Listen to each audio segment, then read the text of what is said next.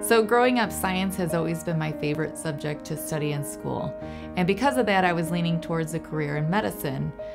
Uh, while I didn't know which pathway I was going to go, my mom had suggested that I give nursing a try, which, when I got into school uh, doing my nursing curriculum, I really found that it was a perfect fit.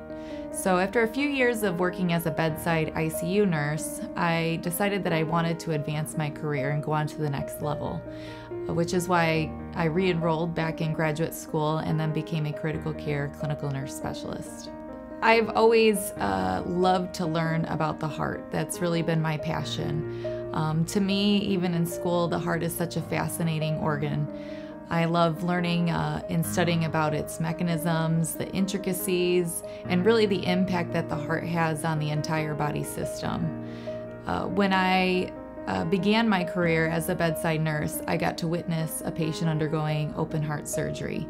And open heart surgery undoubtedly is one of the most major procedures that anyone can undergo.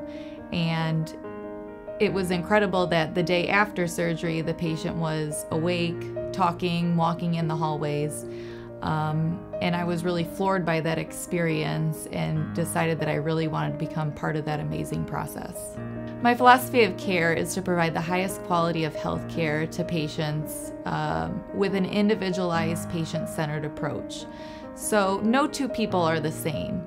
Each has their own individual anatomy, their own uh, influencing emotional and social factors that come into play during the recovery period.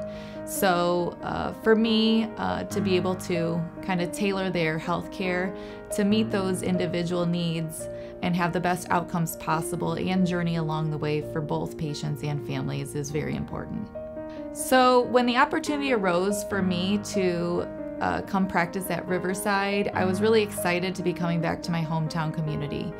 Uh, the Riverside Cardiac Surgery Program has a robust history of uh, strong quality outcomes, and I'm really uh, glad that I get to be part of that legacy now to continue to deliver high quality cardiac care uh, to the community that I was born and now raise my family in.